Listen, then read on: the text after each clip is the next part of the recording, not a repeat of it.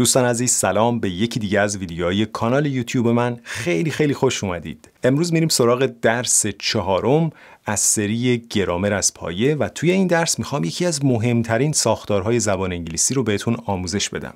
ساختار زمان حال کامل The Present Perfect Tense. از اتفاق این ساختار برای زبان آموزا خیلی هم سخته. علت اصلیش هم اینه که معنا و کاربرد این ساختار برای خیلی از زبان آموزا گنگ است که توی این ویدیو می‌خوام معنا و کاربرد این ساختار رو براتون روشن بکنم که قشنگ بدونید کجا باید از این ساختار استفاده بکنید. بریم سراغ درس امروز. به طور کلی ساختار زمان حال کامل وقتی استفاده میشه که ما می‌خوایم درباره یک اتفاق در گذشته صحبت بکنیم که تأثیراتش هنوز هست. حالا این یعنی چی؟ الان براتون میگم. زمان حال کامل سه تا کاربرد خیلی خیلی مهم داره. کاربرد اول اطلاع دادنه. مثلا من رسیدم لندن. من رسیدم تهران. I have arrived in London. I have arrived in Tehran. I have watched this movie. حالا ممکنه بگید که چرا از زمان گذشته که توی ویدیوی قبل آموزش داده شد استفاده نکنیم؟ آها این نکته اینجا خیلی مهمه. بچه زمان گذشته وقتی استفاده میشه که زمان وقوع اون اتفاق یا مشخصه برای ما یا خیلی مهمه. مثلا میگیم I watched this movie last year. من پارسال این فیلم رو دیدم. I arrived in London two weeks ago. من دو هفته پیش رسیدم لندن. I arrived in Tehran last week. من هفته پیش رسیدم لندن. خب پس زمان اتفاقش مشخصه و مهمه. ولی زمان حال کامل وقتی استفاده میشه که یا زمان وقوع اون اتفاق اصلا مهم نیست یا مشخص نیست. خود عمل مهمه خود اون اتفاق مهمه. مثلا شما می‌خواید بگید که آقا من این فیلم رو دیدم قبلا. حالا اینکه کی دیدی اصلا مهم نیست. مهم اینه که تو این فیلم رو دیدی. اینجا چی میگی؟ میگی I have watched this movie I have arrived in London. I have arrived in Tehran. یعنی در واقع وقوعش مهمه زمانش اصلا مهم نیست یعنی مثلا شما نمی‌تونید بگید I have arrived in London last week این غلطه نمی‌تونید بگید I have watched this movie last week غلطه غلطه غلطه I have arrived in Tehran three days ago غلطه غلطه غلطه. یادتون باشه وقتی که زمان مشخصی کاری رو می‌خواید بیان بکنید حتما باید گذشته ساده باشه. کاربرد دوم اینه که ما می‌خوایم درباره یه چیزی صحبت بکنیم که از گذشته به صورت مکرر داشته اتفاق میافتاده و هنوزم اتفاق میافته. مثلا میگی I have visited London every summer since I was 18 years old. یعنی از وقتی که 18 سالم بوده هر تابستون من داشتم می اومدم لندن و خلاصه خوش میگذروندم. I have watched this video every day since last week.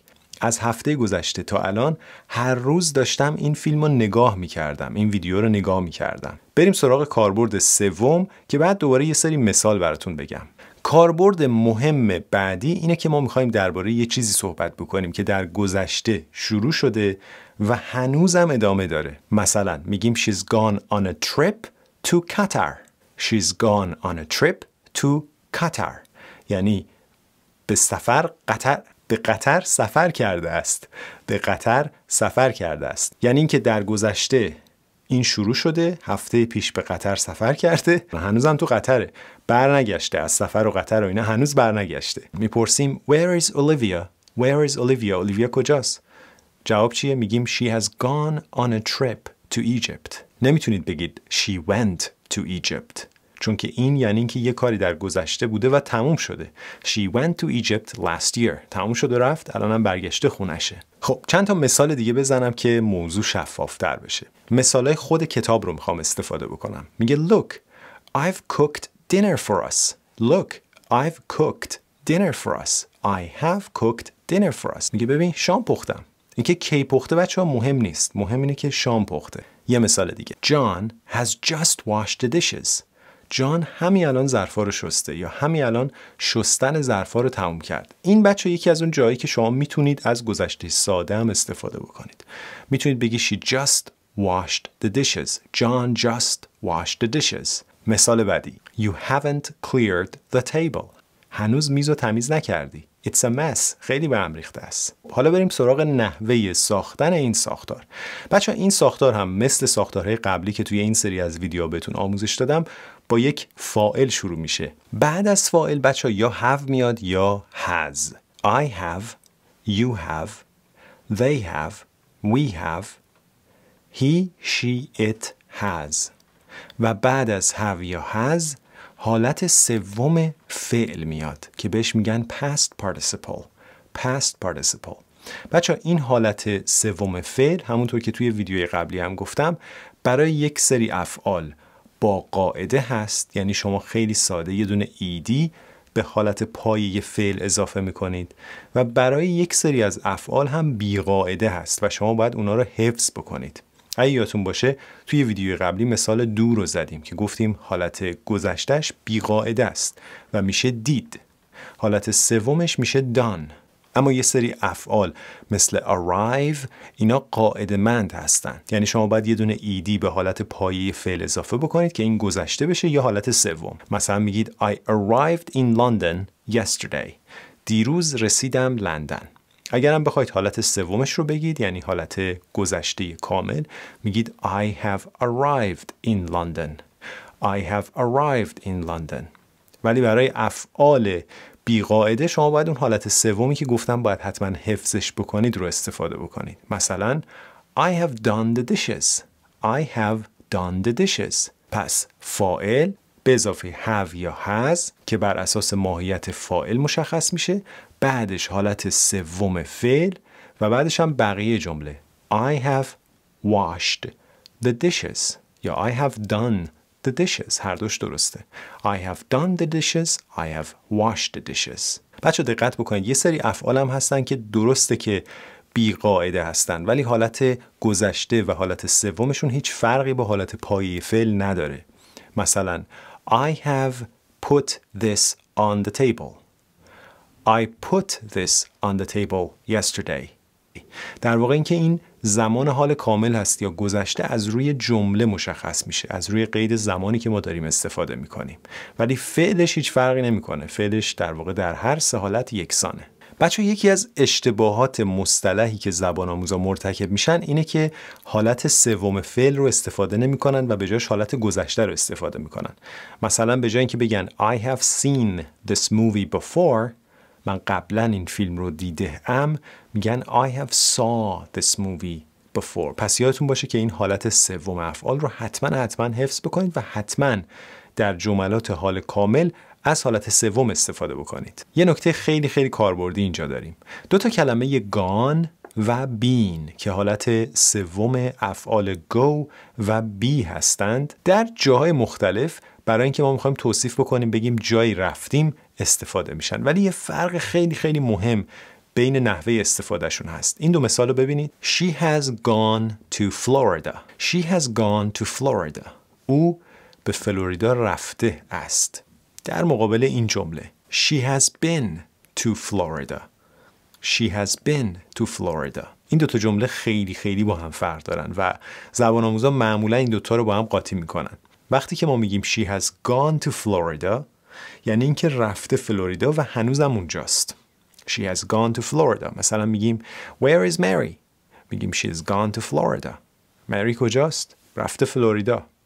اینکه کی رفته مهم نیست. مهم اینه که داریم اطلاع میدیم خبر میدیم میگیم الان فلوریدا است. پس رفته فلوریدا هنوزم اونجاست. اما وقتی که می‌خواید بگید که من مثلا قبلا رفتم فلوریدا الان تو فلوریدا نیستی. اینجا میگی I have been to Florida. I have been to Florida. قبلا رفتم فلوریدا. I have been to Paris. I have been to Paris. پاریس رفتم. I have been to London. لندن رفتم اینجا نمی‌تونی بگی I have gone to London یا she has gone to London بگی she has gone to London یعنی اینکه رفته لندن هنوزم اونجاست پس این نکته بچه یادتون باشه خیلی خیلی کلیدیه و حتما باید رعایت بکنید Where is Ben? He has gone to the mall بن کجاست؟ رفته بازار یا رفته مال Where are Julie and Jack? جولی و جک کجا هستن؟ They've gone to see a play They have gone to see a play. یعنی رفتن بازی رو ببینن. یعنی هنوزم اونجا هستن. خب بچه به خاطر اهمیت تفاوتی که زمان حال کامل با زمان گذشته داره من ازتون می‌خوام که به این مثالا دقت بکنید و به تفاوتش فکر بکنید. I saw a great movie last week. I saw a great movie last week. من هفته پیش یه فیلم خیلی عالی دیدم. I haven't seen that movie. I haven't seen that movie. من اون فیلم رو ندیدم Joe didn't climb Mount Fuji last year. Joe didn't climb Mount Fuji last year. پارسال جو کوه فوجی رو بالا نرفت. پارسال زمانش مشخصه. She has climbed Mount Fuji twice. او تا حالا دو بار از کوه فوجی بالا رفته. زمانش مهم نیست. مهم اینه که دو بار این کارو کرده. خب حالا ازتون می‌خوام که تمرینایی که توی اسلایدی که الان بهتون نشون میدم رو انجام بدید. البته طبق درخواست شما جوابای درستش رو هم من بعد از چند ثانیه توی اسلاید قرار میدم که بتونید جواباتون رو چک بکنید.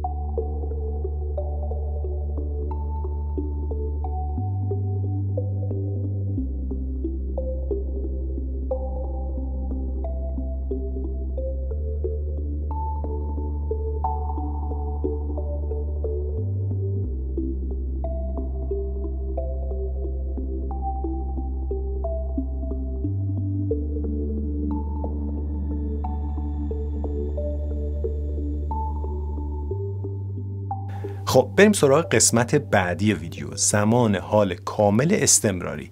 اون چیزهایی که تا حالا گفتیم درباره زمان حال کامل ساده بود. یه زمان حال کامل هم داریم که حالت استمراری می‌گیره و الان کاربردش رو براتون توضیح میدم. بچه این ساختار هم دوباره مربوط به کارهایی میشه که در همین گذشته اخیر اتفاق افتاده و در حال انجام بوده و هنوز تأثیرش روی وقایع امروز هست. حالت استمرار داشته در گذشته و تأثیرش رو هم هنوز ما داریم می‌بینیم. حالا ممکنه اون فعالیت تموم شده باشه ممکنم هست که هنوز در جریان باشه. این رو ما باید از خود جمله متوجه بشیم. مثلا I have been painting the house all day. I have been painting the house all day. I'm exhausted. یعنی کل روز داشتم خونه رو رنگ می کردم و الان خسته خسته هستم. حالا ممکنه اینجا همچنان رنگ کردن ادامه داشته باشه. ممکنم هست تموم شده باشه. اینش خیلی مهم نیست. ولی مهم اینه که احتمال اینکه هنوز در جریان باشه هست. مثلا میگه I've been studying really hard. I've been studying really hard. یعنی از گذشته شروع کردم از هفته پیش و هنوزم که هنوزه من دارم به صورت مستمر مطالعه می‌کنم. هنوز قطع نشده ادامه داره. بعضی جاها هست که این کار دیگه متوقف شده و ما از نوع جمله می‌تونیم متوجه بشیم. مثلا میگیم I've been cooking this evening. I've been cooking this evening. Now I have to do the dishes. یعنی امشب مشغول غذا پختن بودم و الان باید ظرفا رو بشورم. این الان باید ظرفا رو بشورم یعنی که غذا رو خوردیم و تموم شد و اون عمل غذا پختن تموم شده در واقع. یه مثال جالب دیگه برای وقتی که اون کاری که در گذشته شروع شده هنوزم ادامه داره. He's been waiting for the bus for an hour. He has been waiting for the bus for an hour. یک ساعته که منتظر اتوبوسه. حالا ادامه جمله رو ببینید. He is going to be late for work. دیر می‌رسه به کارش. دیر می‌رسه به کارش یعنی اینکه هنوز هم منتظر اتوبوسه. پس اینکه اون کار هنوز ادامه داره یا قطع شده بستگی به این داره که جمله کجا داره استفاده میشه قبل و بعدش چی میاد. خب حالا بریم سراغ فرمول ساخت جملات حال کامل استمراری. بازم مثل همیشه یه دونه فائل ما نیاز داریم. I یا you یا he, she, they, we, it یا اسم اشخاص و اجسام. بعدش هوا هز همونطور که توی قسمت اول ویدیو گفتم که بر اساس ماهیت فائل مشخص میشه که هف باشه یا هز باشه. بعدش ما حتما یه دونه بین می‌خوایم. این بین ثابته چه برای he, she, it, we, you, they و اسم اشیاء و اجسام و اشخاص همه ثابته. همیشه بین هست. چیزی که تغییر می‌کنه هوا هزه. و بعد حالت آینجی دار فعل که توی ویدیوی زمان حال استمراری اینو قشنگ توضیح دادم و یاد گرفتید. بعدش هم که ادامه جمله. I have been studying for two years now. دو ساله که دارم مطالعه می‌کنم. You have been studying for two years now. She or he has been studying for two years now. I've been cooking dinner. It will be ready soon. I have been cooking dinner. It will be ready soon. مشغول شام پختن بودم یعنی از چند ساعت قبل شروع شده هنوزم ادامه داره It will be ready soon به زودی آماده میشه یعنی هنوز تموم نشده حالا اینو با این مقایسه بکنید I've cooked dinner I have cooked dinner It's ready now غذا پختم آماده است I've been eating too much cake I must eat less یعنی خیلی کیک خوردم کیک خوردنی که از گذشته شروع شده و هنوزم ادامه داره. هنوزم داره می‌خوره. I must eat less. باید کمتر بخورم. این حال کامل استمراری بود. مقایسه بکنید با این جمله. I have eaten all the cake. The plate is empty now. کل کیک رو خوردم. بشقابش هم الان خالیه. پس این کار تموم شده. جمله قبلی که حال کامل استمراری هست در گذشته شروع شده استمرار داشته و هنوزم که هنوزه ادامه داره. خب توی این قسمت از ویدیو میریم سراغ سوالی کردن و منفی کردن جملات ساختار زمان حال کامل و حال کامل استمراری.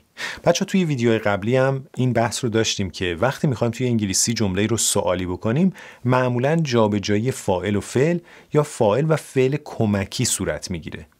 توی زمان حال کامل هم همین اتفاق میفته مثلا I have read three books this year. I have read three books this year. امسال من سه تا کتاب خوانده ام. امسال من سه تا کتاب خوندم. حالا اگه بخوایم اینو سوالی بکنیم و از طرف مقابل بپرسیم چی میگیم؟ میگیم have you read any books this year? Have you read any books this year? آیا کتابی امسال خوندی؟ بچه این any توی جملات حال کامل مخصوصا حالت سوالی خیلی استفاده میشه. یکی کلمه انی هست که الان تو مثالهای بعدی معنی دقیقش رو متوجه میشید. یکی کلمه never به معنای هرگز و یکی هم کلمه ever به معنای تا حالا یا تا امروز. این سه تا کلمه خیلی استفاده میشن و کاربرد دارن و الان تو مثالهای مختلف معنیش رو قشنگ درک می‌کنید و بعد ازتون می‌خوام چند تا تمرین حل بکنید. We have never had a car. We have never a car ما هیچ وقت ماشین نداشتیم. قبلا نداشتیم الان هم نداریم. We have never ببینید این کلمه never که گفتم. We have never had a car. اگه بخوایم سوالیش بکنیم اگر بخوایم این جمله رو سوالی بکنیم have رو قبل از فائل میاریم. جمله سوالی میشه Have you ever had a car? اینجا دیگه never ما نمی‌تونیم بگیم یادتون باشه بچه توی جملات سوالی ما از never استفاده نمی کنیم از ever استفاده می کنیم در پاسخ به جملات سوالی و در جملات منفی می‌تونیم از کلمه never استفاده بکنیم Have you ever had a car? No, we have never had a car. Have you ever read any books? آیا تا حالا کتابی خوندی؟ No, I have never read any books. هیچ وقت کتاب نخوندم. Have you ever met him? آیا تا حالا اونو دیدی؟ No, I have never met him. I have never met him before. نه هیچ وقت ندیدمش. Have you ever talked to her? Have you ever talked to her? آیا تا حالا باش صحبت کردی؟ No, I have never talked to her. حالا اگه بخوایم مثبت جواب اینو بدیم دیگه از never ever استفاده نمی کنیم. جواب یه چیزی شبیه این میشه. Yes, I have talked to her on several occasions. Yes, I have talked to her on several occasions. در موقعیت های مختلف باش صحبت کردم قبلا. I haven't seen Tom this morning. Have you? Have you seen Tom this morning? No, I haven't seen Tom this morning. از امروز صبح تا حالا تام رو دیدی؟ نه من ندیدمش. خب پس بچه به این جابجایی دقت بکنید. have میاد قبل از فائل و بعد بقیه جمله به همون شکل ساده حال کامل استفاده میشه. یعنی حالت سوم فعل رو ما استفاده می‌کنیم و بقیه جمله. Have you seen Tom this morning? Have you ever been to China? Have you ever been to China? این ever به معنای تا حالا هست. تا حالا چین رفتی؟ Have you ever been to China? جوابش چی میشه؟ شما بگید. می‌خواید بگید نه نرفتم تا حالا. No. I have never been to China. باریکلا. I have never been to China. یا می‌تونید اینجوری بگید. I have not been to China ever before. حالا بریم سراغ منفی سازی. برای منفی سازی بچه خیلی ساده. ما یک not به بعد از هوا اضافه می‌کنیم و جمله منفی میشه درست مثل زمانهای دیگه که بررسی کردیم و not رو ما در واقع به فعل کمکی اضافه می کردیم و جمله منفی می شد Have you ever been to India? No, I have not been to India. I haven't been to India. هند نرفتم. Have you eaten breakfast today? آیا امروز صبحانه خوردی؟ Have you eaten breakfast today? آیا صبحانه خوردی؟ No, I haven't eaten breakfast. I haven't eaten breakfast today. خب حالا ازتون می‌خوام تمرینایی که توی اسلاید بعدی از کتاب گرامر نیوز براتون انتخاب کردم رو انجام بدید می‌تونید یکم ویدیو رو پاز بزنید متوقفش بکنید و بعد جوابای درستش رو بعد از چند ثانیه من نشون میدم تا ویدیوی بعد